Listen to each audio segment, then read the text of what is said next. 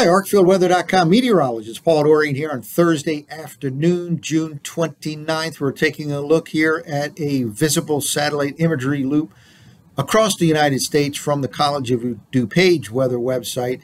And two things jump out at you for sure. It's this system right here in the Midwest, the middle Mississippi Valley, and over the Tennessee Valley, another system. Again, we're looking at the visible satellite imagery loop right here, and we want to talk about what I call the ring of fire. That's the perimeter around an upper level ridge of high pressure. And oftentimes, this time of year, you get these situations where you get what we call MCS or mesoscale convective systems developing in this ring of fire, or even derechos. Those are long lasting, long lived lines of severe thunderstorms that can travel all the way from the Midwest to the East Coast, for example. Right here, we have two separate systems in this ring of fire. You can imagine, and we'll take a look at this in a moment, the upper level ridge is sitting right here over the south central U.S., contributing to some very hot weather over Texas, for example. And the northwest flow and the outer perimeter of that upper, upper level ridge is where to watch for these kinds of systems. Let's now take a look at the latest uh, radar loop. And here we go. Very easy to tell where these systems are using the radar. This is uh, looking like a derecho, a, a very intense line of severe thunderstorms crossing from west to east right now over the uh, state of Illinois and out ahead of it over the Tennessee Valley. Another kind of a mesoscale convective system out ahead of it. And again, you can see the rotation in this fashion here with the high pressure sitting right here over the south central uh, U.S. and winds flow clockwise around those highs and radar echoes will rotate around in that wind flow and this is the outer perimeter of that high pressure system. Well, again, we'll see that in a moment here, and that's what I call the ring of fire. And these are systems that uh, certainly need to be uh, monitored over the next several hours, and really over the next couple of days. This ring of fire pattern will need to be closely monitored. Well, let's take a look at the very latest Canadian model run. This is actually from earlier today, the 12Z run uh, as here we are in the afternoon on Thursday, June 29th. And this is just a look at the latest 500 millibar height pattern here, not the anomalies, the actual heights.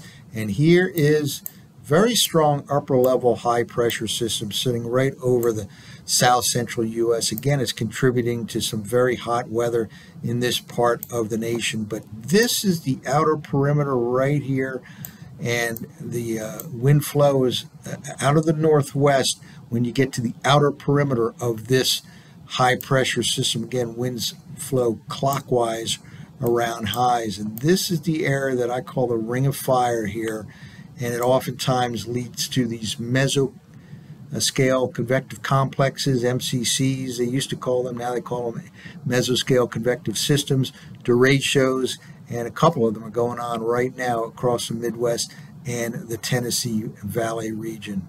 Now let's kind of jump ahead and take a look at the 500 millibar height anomaly pattern, namely because, mainly because it shows the upper level wind flow that kind of flows along these black lines here. And again, here is that upper level ridge of 500 millibars sitting right over Texas, Louisiana. And here you go. You have this uh, northwesterly flow right in this region right now. And again, we saw a very powerful line right cutting across Illinois and out ahead of it, kind of a mesoscale system of uh, with embedded thunderstorms over the Tennessee Valley. And again, that's all in that ring of fire over the uh, perimeter, the outer perimeter of that high pressure system. Now let's move forward in time here and it kind of sits there and we go into the day on Friday. Same kind of a pattern here with that high right over here over Louisiana, Texas, northwest flow uh, on the northeastern flank of that high pressure system. So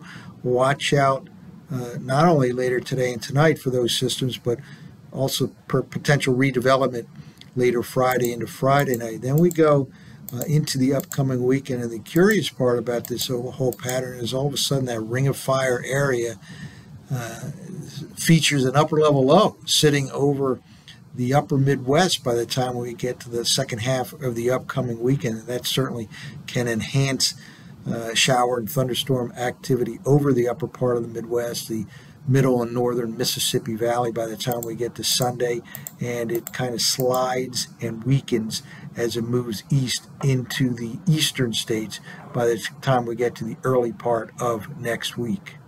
Well, now let's take a look at the surface forecast maps from the 12Z Canadian model. Really, most of the models have uh, kind of poorly initialized today with respect to these systems out over the uh, Midwest and the Tennessee Valley. This is showing up here for the early afternoon forecast, and it certainly looks underdone here, underwhelming rainfall associated with that very, very powerful looking line of severe thunderstorms and really nothing over the Tennessee Valley.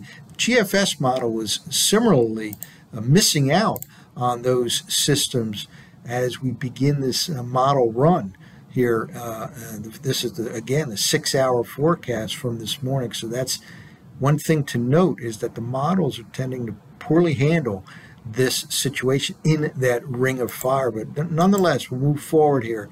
And it kind of intensifies into the Ohio Valley later on tonight and then dives to the south and east across Kentucky, West Virginia. Be on the lookout for a potential uh, impact from the system over the upper part of the Midwest. And we're talking about later tonight into the day on Friday. Then we'll move ahead. And remember, we talked about that upper level low kind of forming over the uh, mid uh, Midwest, the uh, northern Mississippi Valley, and here we go, right here.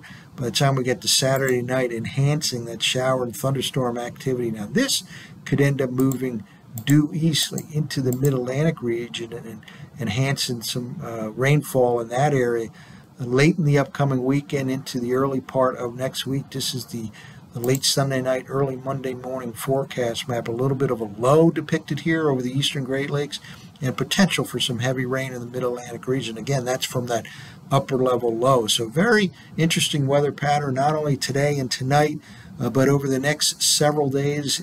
Uh, especially in this ring of fire area, the outer perimeter of very, very strong upper level high pressure region that is now situated over Texas, Louisiana area. So watch out in that outer perimeter region. That's it for now. For arcfieldweather.com, this has been meteorologist Paul Dorian.